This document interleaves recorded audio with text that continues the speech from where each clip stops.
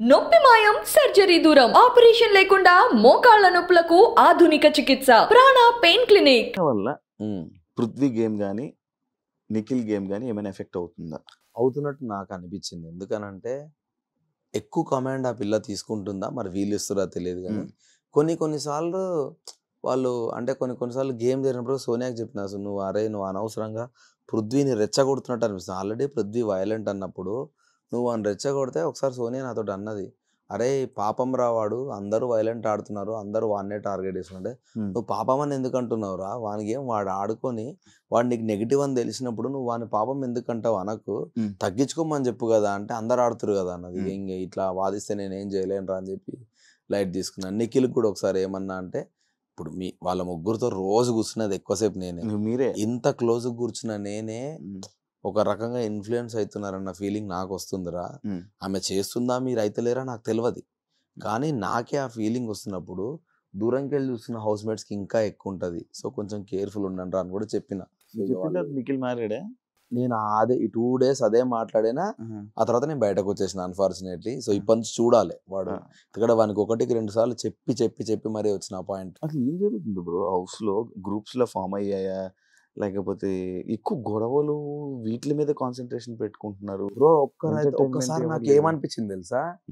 మనం గొడవలు పెట్టుకుంటేనే కంటెంట్ వస్తుంది మనం పెట్టుకుంటేనే.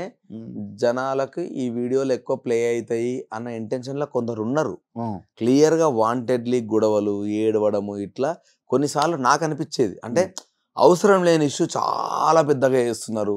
అని కొన్ని కొన్నిసార్లు నాకు అనిపించేది.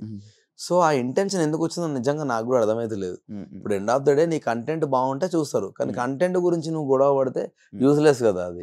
అట్లా కొన్ని కొన్ని సార్లు చేసారు అన్ని సార్లు కాదు కానీ కొన్ని కొన్నిసార్లు చిన్నది కూడా పెద్ద రప్చర్ చేసారు చాలా సార్లు. సోనీ క్యారెక్టర్ ఏంటి బ్రో లైక్ ఎందుకంటే ఇది ఎందుకు అడిగానంటే బయటికి రాగానే మీరు ఒక వీడియో రిలీజ్ అయ్యింది మీ ముగ్గురిది. మీది బేబాక్కది మన శేఖర్ భాష కూర్చొని అదే శేఖర్ భాష అది మీరు చూడలేదా? అవును నేను ఏం మాట్లాడినా యాక్చువల్గా అప్పుడు? అదే ఇవన్నీ నాకు జరిగాయా? ఇవి నాకు తెలియదే ఆ, నిజంగా నాకు తెలియదు ఎందుకంటే. నేను బయటకు వచ్చిన. రాగానే నా వైఫ్ వీళ్ళందరూ నా ఫ్రెండ్ కానీ వీళ్ళందరూ కూడా ఒకటే సోనియా నిఖిల్ సోనియా నిఖిల్ పృథ్వీ నువ్వు సోనియా నిఖిల్ పృథ్వీ నువ్వు ఇవే టాపిక్లు అడుగుతా ఉన్నారు. అరే మీరు అట్లా ఏం లేదురా బాబు. మీకు బయటకు వచ్చినాక రాఖీ కట్టించుకుంటా కట్టించుకుంటా కానీ మీరు ఇట్లాంటి గలీజ్ గలీజ్ ఏం చెప్పకండి నాకు. నేను అందరినీ సిస్టర్స్ బ్రదర్స్ లాగానే చూసిన అక్కడ హౌస్లో. అంతకు మీకు ఏం లేదు. సోనియా నాకు ఫ్రెండ్ ఫ్రెండ్ అని పదే పదే నేను ఎందుకు చెప్పినా అంటే. రాగానే విష్ణుప్రియ వీళ్ళందరూ కొందరు నన్ను అడిగిర్రు. నువ్వు సోనియాతో ఎక్కువ మాట్లాడుతున్నావు. లేకపోతే మీరు ఎక్కువ క్లోజర్ అంటే బెటా నాకు అట్లా ఏం లేదు. మీకంటే పదేళ్ళ ముందు నుంచి నాకు ఆమె తెలుసు కాబట్టి డెఫినెట్గా మీకంటే ఎక్కువ ఆమెతో నాకు ర్యాప్ ఉంటుంది. సో అది నేను కన్వే చేద్దామని ఒకటికి రెండు సార్లు ఆ మాట అన్న ఎందుకంటే లేకపోతే ఎట్లా అనుకుంటారు అంటే. వీడు సడన్గా రాగానే గీపీలతో ఎందుకు మాట్లాడుతున్నాను ఇంటెన్షన్ ఎవరికైనా వెళ్తుంది. కానీ మేము ఎప్పటి నుంచో దోస్తున్నామని చెప్తే కానీ తెలియదు ఎవరికి సో అందుకని ఒకటి రెండు సార్లు నేను చెప్పాల్సి వచ్చింది తప్ప కానీ. దానికి వేరే ఇంటెన్షన్ లేదు ఎందుకంటే చూసిన వాళ్ళు విష్ణుప్రియ ఒకసారి నన్ను డైరెక్ట్ బయాస్డ్ అనేసింది. బయాస్డ్ ఎందుకన్నావురా నువ్వు అంటే నువ్వు ఆమెకి ఎక్కువ ఇంపార్టెన్స్ ఇస్తున్నావు అంటే నేను ఈ మాట చెప్పిన. ఇప్పుడు కాదురా నాకు టూ థౌసండ్ ఫోర్టీన్ నుంచి తెలుసు అమ్మాయి. మ్మ్. సో ఆబ్వియస్లీ నీకంటే ఎక్కువనే మాట్లాడతా కానీ నేనంటే. వెరీ సారీ అన్న నాకు హానెస్ట్గా నాకు ఆ విషయం తెలియదు. మీరు ముందు నుంచి ఫ్రెండ్స్ అని అన్నది. సో నువ్వే అట్లా అనుకుంటే బయట జనాలు ఇంకెన్నిసార్లు అనుకుంటారు. సో దాన్ని క్లియర్ చేయడానికి నేను ఒకటికి రెండు సార్లు ఆ మాట చెప్పాల్సి వచ్చింది. ఇప్పుడు యాక్చువల్లీ మీరు ఒక మాట అది అన్నారు. లైక్ సోనియా మాటలకి నిఖిల్ ఇన్ఫ్లుయెన్స్ అవుతున్నాడు. లైక్ ఇలా బయటకు వచ్చాక రెడ్ రోజు సోనియాకి ఇవ్వడానికి రీజన్ ఏంటి ఆబ్వియస్లీ నాకు ఆ ఫ్రెండే కదా. నాకు నబెల్కి ఇయ్య బుద్ధి అయింది. అండ్ ఆమెకు ఆబ్వియస్లీ ఇద్దామనుకున్నా Hmm. ఎందుకంటే నిఖిల్ సీత ఫస్ట్ నాకు ఉండిపోయారు. థర్డ్ది నేను సోనియాకి ఇద్దామా నబెల్కి ఇద్దామా ప్రేరణకి ఇద్దామా అని కూడా అనుకున్నా నిఖిల్ ఎందుకు ఆప్షన్ నుంచి ఎక్కువ నిఖిల్తో కలిసి పనిచేశారు ఫస్ట్ నిఖిల్కే ఇచ్చిన నేను ఫస్ట్ రెడ్ రోజ్ ఇచ్చిందే నిఖిల్కి ఆ, ఆ. నిఖిల్కి రెడ్ రోజ్ ఇచ్చి ఐ లవ్ యూ అని వాడికి చెప్పిన తర్వాతనే స్టార్ట్ చేశారు. సోనియా నాకు ఎంత. ఫ్రెండ్ అయినా నిఖిల్తో నాకు అయిన బాండింగ్. అది ఎట్లా అంటే చైల్డ్హుడ్ బడ్డీస్ ఉంటారు కదా. అంత క్లోజ్ ఎందుకైనామో కూడా తెలియదు నాకు నిజంగా వైబ్ లా అందుకే మామ లవ్ యూ రా అంటే లవ్ యూ రా అన్నట్టు సో ఒక రకమైన అదైంది. ఆ, తర్వాత ఇంకా అంత ఎక్కువ ఎమోషనల్ సీతుతో అయింది నాకు. అన్న చెల్లెగా అది ఇది. దాని తర్వాత ప్రేరణతో కూడా అయింది. చాలా మంచి బాండింగ్ అయింది. ప్రేరణతో కూడా అన్న అన్న అనుకుంటా ఆమెతో కూడా. అండ్ నేను వచ్చే మూమెంట్కి యష్మి చాలా క్లోజ్ అయింది. ఇంకొక రెండు వారాలు ఉంటే చాలా క్లోజ్ అయ్యేది ఆ అమ్మాయి. ఈ గ్యాప్లో నబెల్ బాగా నచ్చిండు నాకు. సో అందుకని ఒకటే ఉంది. నేను ఈమెకి ఇద్దామా వానికి ఇద్దామా అనుకున్నా నబెల్కి ఇద్దామని అనుకున్నాక సార్ని అడిగిన. ఇద్దరికి ఇవ్వచ్చు. ఒకరికే ఇవ్వమంటే మోస్ట్లీ నబెల్కి ఇచ్చడం ఎందుకంటే నువ్వు నా ఫ్రెండ్ తెలుసు మనం ఎంత క్లోజ్ అనేది. ఇప్పుడు నీకు సపరేట్గా రోజు ఇచ్చి చెప్పాల్సినంత ఏం లేదు. ఎందుకంటే మనం ఏం ఇప్పుడున్నా బయట ఉన్నా మళ్ళీ దోస్తులనే మాడతాం కానీ వాడు కొత్తగా నాకు కుర్రాడు నాకు భలే నచ్చిండు చిన్నోడు చిన్న ఏజ్. సో నాకు బాగా కనెక్ట్ అయ్యిందని నాకు అనిపించింది.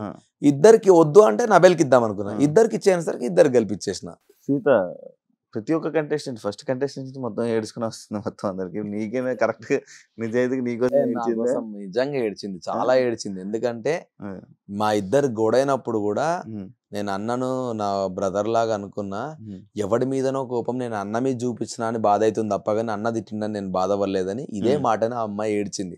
సో ఆబ్వియస్లీ ఆమె నిజంగా హానెస్ట్గా నన్ను సొంత బ్రదర్ లా ఎంత ఫీల్ అయింది అనేది ఒక్క మాటతో చెప్పొచ్చు. సో నిజంగానే సీతో చాలా కనెక్ట్ అయింది నాకు ఎమోషనల్గా. అన్న. అన్న ఎన్నిసార్లు అన్నదో అన్న నీకు రాఖీ కడతా బయటకు వచ్చినాక రాబేటా రాబేటా అన్న.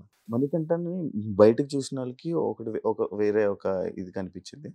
లోపల వాళ్ళ ఫ్యామిలీని వాడుకుని సింపతి కార్డ్ యూస్ చేస్తున్నాడు అని అనిపించిందా మీకు? నాకు అనిపించింది బ్రో. హానెస్ట్గా అనిపించింది. ఎందుకంటే ఒకసారి నేను ఫైవ్ వీక్స్ ఉంటే చాలు నా పాప నా దగ్గరకు వస్తా అంటాడు. ఒకసారి ఏమో నేను కప్పు గెలవాలి గెలవకపోతే నా ఫ్యామిలీ నా దగ్గరికి రాదు అని అంటాడు. ఏది నిజం అనుకోవాలి. ఒక్కోసారి ఫుల్ ఫ్లర్ట్ చేస్తా ఉంటాడు అమ్మాయిలతో. ఒక్కోసారి చాలా సీరియస్గా నిజంగా నాకు ప్రామిస్ బ్రో నిజంగా అంత ఫ్లక్చువేట్ అయ్యే పర్సనాలిటీ నేను చూడలేదు. సో నా నేనేమనుకున్నా అంటే వీడికి ఇంత ఫ్లాష్ బ్యాక్ జరిగింది బ్యాక్గ్రౌండ్ లా ఇంత ఘోరంగా ఫ్లిప్ అవుతున్నాడు అని నాకు అనిపించేది. కానీ కొన్ని కొన్నిసార్లు పొంతన ఉండకపోయేది. సో నాకు నిజంగా ఇప్పటికి మూడు వారాలల్లా ఒక మనిషిని హానెస్ట్గా నేను అసెస్ చేయలేకపోతున్నా అంటే మణికంఠ. ఆ తర్వాత విష్ణుప్రియ ఇద్దరిని. ప్రాపర్గా అసెస్ చేయలేకపోతే విష్ణుప్రియ ఇప్పుడు పృథ్వీతో చాలా ఫుల్ క్లోజ్గా మాట్లాడుతూ ఉంది కదా విష్ణు. ఫుల్ మస్తు బడ్డీ. బడ్డీ బడ్డీ. డైరెక్ట్ ఓ రోజు ఏమన్నదంటే జోక్ జోక్లు అన్నదా మరి నిజంగా నిజంగా నాకు అర్థం కాలేదు ఇట్లుండి he's like a bro to me నేను జస్ట్ కంటెంట్ కోసం మాట్లాడుతున్నా అంతే అని అన్నది. పక్కకే సోఫాలో కూర్చొని నాకు ఎట్లా రియాక్ట్ కావాలని అర్థం కాలే ఆ మాటకి. అంటే కంటెంట్ కోసం అంతగానం చేయాల్సిన అవసరం ఏమున్నది అనేది నా పాయింట్. పృథ్వీతో ఫుల్ క్లోజ్గా లవ్లీగా డాన్స్ చేసుకుంటా నీకు చాలా. మందికి ఇట్లా విష్ణు చాలా ఇష్టపడుతున్న అన్న ఫీలింగే ఉంటది కదా. సార్. ఏమన్నా నాకు సార్ ఏ నువ్వు ఇంకా పృథ్వీని ఇక్కడే ఊహించుకున్నావు? Swimming pool ఊహించుకున్నావు? అనుకున్నా ఇట్లాంటి కొన్ని మాటలు ఎందుకంటే. అన్నది. అరే మా స్విమ్మింగ్ పూల్కి రారు? ఇవన్నీ మాట్లాడిన తర్వాత is like bro to me అంటే డిస్కనెక్ట్ అవుతామా కామా. అట్లా కొంచెం డిస్కనెక్ట్ అయినా మేజర్గా మాత్రం మనీ. నాకు స్టిల్ అర్థమైతలేడు. సోనియా మీకు బయట ఫ్రెండ్. లోపల మాస్క్తో లైక్ ఫేక్. గా గేమ్ ఆడుతుందా లేకపోతే మాస్క్ వేసుకొని ఆడుతుందా లేకపోతే రియల్గా తను అదేనా సోనియా అగ్రెషన్ అయితే అంతే ఇప్పుడు ఏదైతే సోనియా అగ్రెషన్. ఉందో అది అంతే. కానీ physical గా ఇంకా తను ఆడట్లేదు ఆడాలని కోరుకుంటున్నాను నేను మ్మ్. Physical గా ఓన్లీ స్నేల్ టాస్క్లో మాత్రం ఫిజికల్లీ ఒకసారి తిట్టినా కూడా నేను అంటే నువ్వు ఇంత స్ట్రాంగ్గా మాట్లాడే అమ్మాయివి మ్మ్. నేను ఫిజికల్ టాస్క్లు వీక్ అని నువ్వు నువ్వే ఎందుకు చెప్తున్నావు సోనియా చెప్పొద్దు నువ్వు గివ్ అవ్వకుండా ఫస్ట్ ట్రై చేయి కదా చిన్న చిన్న టాస్క్లైనా ఇండివిజువల్ టాస్క్లైనా. అట్లీస్ట్ నేను ట్రై చేస్తా అని చెప్పు. ఆ తర్వాత నీకు ఏమైనా ఇబ్బంది అయితే గివ్ అప్ ఇస్తే వేరే కానీ నువ్వు అనకంటే నా వీక్నెస్ నాకు తెలుసు కదా అంటే తెలిసినా కూడా మన వీక్నెస్ చెప్పకూడదు. నువ్వే అందరికి పదిసార్లు పది మందికి ఇంత మంచిగా చెప్తా ఉంటావు నువ్వెందుకు అట్లా నేను అంటుండే. కానీ స్టిల్ నేను ఆ డిసప్పాయింట్మెంట్ ఎక్కడ ఫీల్ అయినా అంటే చీఫ్ టాస్క్ లా. తను డైరెక్ట్ గివ్ అప్ ఇచ్చేసింది అనిపించింది నాకు. అదే ఆ డాగ్ లాగా వెళ్ళాలన్నారు. కదా కొంచెం టెన్షన్లో పానిక్ అయిపోయింది ముందే. సో అది అంటే నువ్వు హౌస్లో అందరినీ you are the most matured person లాగా నువ్వు నువ్వు. పోర్ట్రే చేసినప్పుడు చాలా మెచ్యూర్డ్గా ఆ గేమ్ ఆడాలి అంటే. నీకు నువ్వే సెల్ఫ్ కాన్ఫిడెన్స్ బూస్టప్ చేసుకొని. సో అది వీక్ అనిపించింది నాకు కూడా కొంచెం నచ్చలేదు అది. నువ్వు ఎందుకో ముందే గివ్ అప్ చేసినట్టు అనిపించింది అని.